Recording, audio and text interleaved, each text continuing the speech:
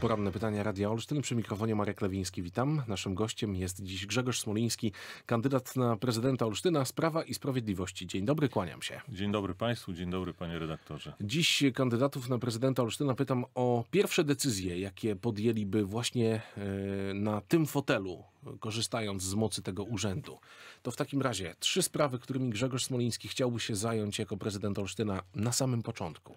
Korzystając z okazji i przypominając cytat z Gwiezdnych Wojen, Mianowicie? Jak, jak powiedział imperator do Jody, czekałem na ciebie, mój mały zielony przyjacielu, to ja czekałem na spotkanie z panem redaktorem, żeby jedną rzecz y, powiedzieć jeszcze Chce mnie, sprzed... Grzegorz Smoliński Nie, chce mnie ja zaraz kupić, odpowiem. drodzy Państwo, Nie. wiedząc, że jestem wielkim fanem Tak, Gwiezdnych nie Wojen. wiedziałem, ja również, ale chciałem powiedzieć o tym, że była tutaj dyskusja, którą pan redaktor prowadził w My Wy Oni, Mhm. gdzie był poruszany temat mojego poruszania się po mieście komunikacją miejską. Tak właśnie było. Tak właśnie było, więc chciałem Państwu i Panu redaktorowi powiedzieć, że 10 lat jeździłem autobusami po naszym pięknym mieście, będąc radnym. Wyłącznie autobusami. Także tutaj chciałem to wyjaśnić, bo wtedy to zostało niedopowiedziane. Dobrze, Także bardzo sprawa. dziękuję. A teraz trzy przechodzimy do meritum.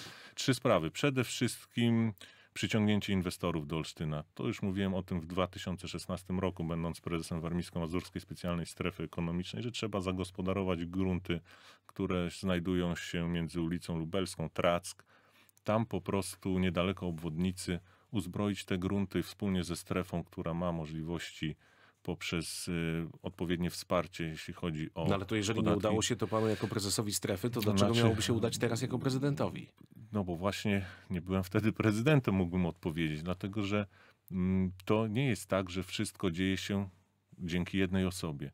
No grunty nie były we władaniu, e, nie, był, nie była strefa właścicielem tych gruntów. To jest pierwsza rzecz. Druga sprawa, potrzebna jest współpraca między różnymi e, jednostkami. Teraz są przyznane zresztą dodatkowe pieniądze na Olsztyński Park Przemysłowy, więc y, jest możliwość skorzystania y, z nich oraz oczywiście ze środków własnych.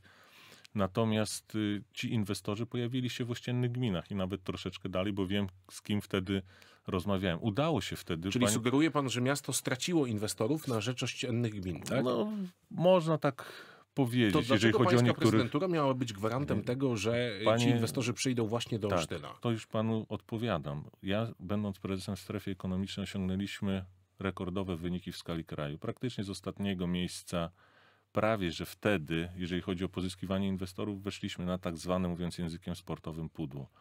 No ale to Same- chyba nie same- dlatego, same że Grzegorz inwestycje- Smoliński jest całkiem sympatycznym facetem, A, prawda? o, bardzo panu dziękuję. Nie wiem, jak to zostanie odebrane, ale ogólnie rzecz biorąc, to była ciężka praca zespołu, na czele którego wtedy stałem. Natomiast wiele samorządów skorzystało wtedy z tej oferty, którą przedstawiliśmy jako strefa i byłem tam prezesem. Natomiast jeżeli chodzi o Olsztyn, poprzez brak planów zagospodarowania przestrzennego, poprzez e, brak odpowiedniej atmosfery do rozmów z O, przedsiębiorcami. i to już rozumiem, czyli dociśnie pan Radę Miasta, żeby stworzyła y, precyzyjne i w większej liczbie plany, miejscowe plany zagospodarowania Znaczy, przestrzennego. plany, za... panie redaktorze, Bo plany wiemy, za... że to jest kompetencja Rady Miasta, Ale prawda? plany zagospodarowania, jeżeli chodzi o Radę, no to Rada je tylko uchwala. Tworzą je urzędnicy, więc Mhm. Jasne. to jest zupełnie inna historia. No, radni nie są podlegli, przynajmniej teoretycznie, prezydentowi miasta. Dlaczego się pan zaśmiał? Nie, bo odnosiłem wrażenie, że w ostatnich latach tak właśnie było, że prezydent Piotr Grzymowicz rządził mocną ręką i można powiedzieć, że tam zbyt wielu e, sprzeciwów wśród, szczególnie jeżeli e, chodzi o, o część radnych, nie słyszałem. Dobrze, inwestorzy, ale z Mhm. jakiego sektora? Przemysłowego, IT, y, high-techu? Co pan sobie wyobraża? Znaczy wyobrażam sobie różnego rodzaju inwestycje, no oprócz y, oczywiście ciężkiego przemysłu, który Oprócz.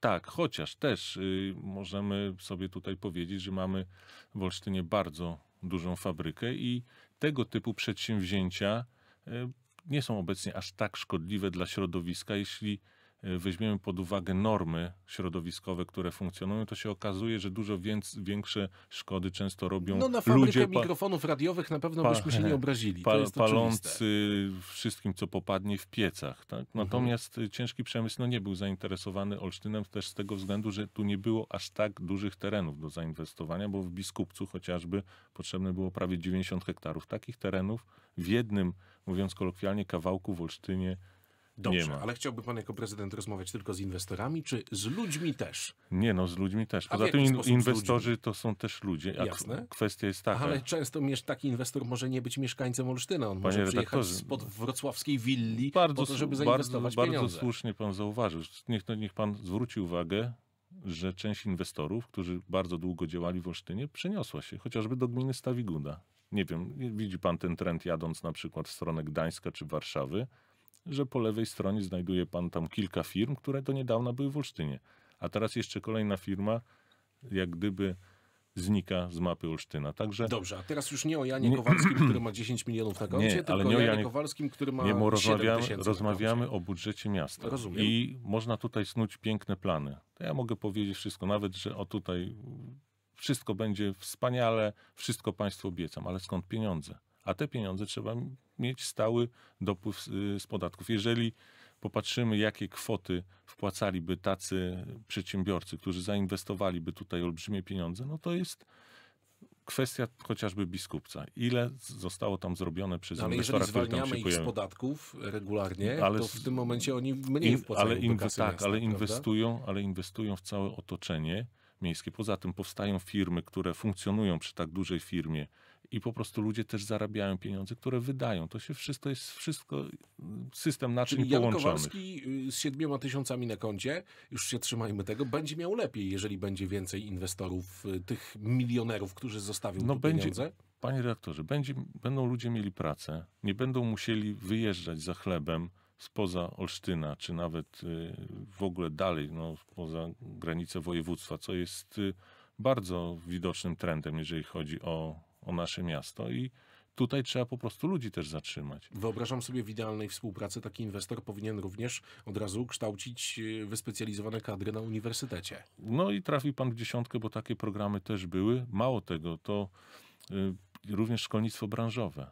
Bo taką niestety bolączką naszych czasów jest to, że bardzo duża część młodzieży chce się uczyć, dajmy na to, w liceach. No chcemy się edukować, szkolnictwo- prawda? No tak, ale bardzo wiele jest y, problemów związanych z tym, że szkolnictwo branżowe, czyli kiedyś za naszych czasów, ja nie wiem ile pan redaktor ma lat, ale sądząc po tym, że ma pan... Zostawmy to. Zostawmy to w tajemnicy, powiem pan po programie.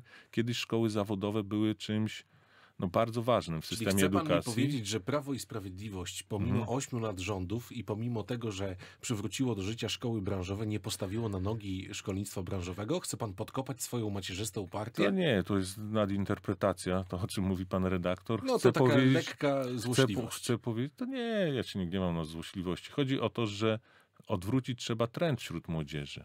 To Prawo i Sprawiedliwość oczywiście to miało wysyłać jak na, do kolonii karnej. Nie, to ludzie muszą, muszą chcieć i wierzyć w to, że praca po szkolnictwie branżowym pozwala zdobyć y, zatrudnienie na bardzo ciekawych, jak mówi młodzież, fajnych warunkach.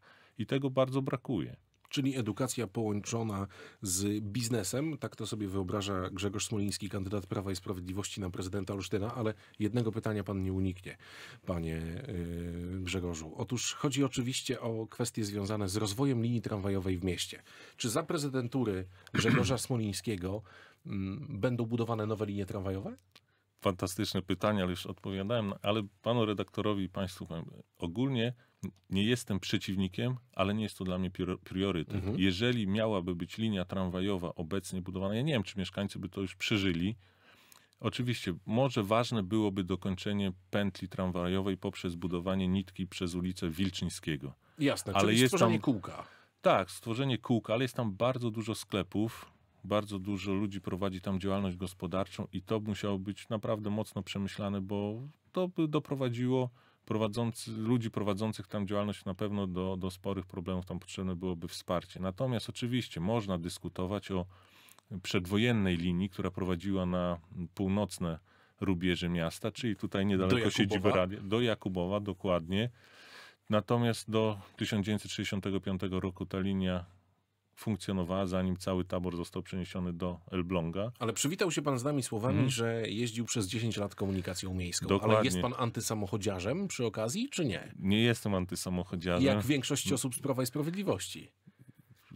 Jak większość osób z Prawa i Sprawiedliwości. Nie, Raczej nie, są to antysamochodziarze. Nie jestem antysamochodziarzem. Ciężko mi się wypowiadać. y, No ja zas- słucham, y, O, zaskoczył kolegów. mnie pan tym pytaniem, bo ja nie wiem, czy są antysamochodziarzami. Wręcz przeciwnie, bo na przykład mój Nie, jeden... nie, ja powiedziałem, że nie są antysamochodziarzami, A, nie że są. twierdzą, że jest... A niektórzy są. Mam na przykład kolegę byłego radnego. Dobrze, pan lubi, po, chciałby, żeby samochody swobodnie jeździły po centrum e, miasta Olsztyna? Znaczy, co rozumiemy poprzez centrum, bo Wie pan, no, Panie- panie mamy redaktorze, różne trendy w tej chwili, które trend jest dotyczą główny nawet nie tak, wpuszczania te- samochodów teraz, do, do dobrze, te, tylko miast. teraz pan poruszył ciekawy temat, odpowiem trochę przewrotnie. No, Według mnie, według mnie centrum jest teraz nad Jeziorem Krzywym, szczególnie w sezonie. Po prostu, czy Jeziorem Ukiel, jak to, którą nazwę No tak, wybierze. ale to w czerwcu, Natomiast samym- i sierpniu. Jeżeli chodzi o sezon, nie jestem za tym, żeby wokół starego ratusza, tak to nazwijmy, była, było hulaj dusza, piekła nie ma, Mhm. jeżeli chodzi o samochody. No bo nie, to jest miejsce, które powinno być przeznaczone dla y, spacerujących, dla turystów, także tutaj to... Tam Jeżeli, je lody i słucha koncertów, prawda? I właśnie, żeby tych koncertów było więcej, żeby te koncerty nie były wszystkie płatne, bo po prostu widać, że Starówka przez to, stare miasto, tak Rozgadaliśmy nazwijmy, się. Już 11 umiera. minut rozmowy za nami, drodzy No i Państwo. fantastycznie, możemy dłużej rozmawiać, tylko nie wiem, czy pana z redaktora nie wyrzucą z pracy, ja Ale to w takim razie, już proszę o moją posadę, proszę się nie martwić. Nie, będę pana wspierał. Ja nie chciałbym, żeby politycy mnie wspierali w Nie mojej karierze dziennikarskiej, no to nie, to cofam to. W każdym razie jutro po godzinie 17.15, Mhm. po godzinie 17.10 rozumiem, że słyszymy się y, na antenie Radia Oczywiście, w debacie z słyszymy. Kandydatami na prezydenta Olsztyna. Monika Rogińska-Stanulewicz, która y, była dziś rano, również przyjęła nasze zaproszenie, a teraz rozmawiałem z Grzegorzem Smolińskim z Prawa i Sprawiedliwości. Panie Grzegorzu, bardzo dziękuję za tę rozmowę. Dziękuję panie redaktorze, dziękuję państwu serdecznie. Kłaniamy się tymczasem.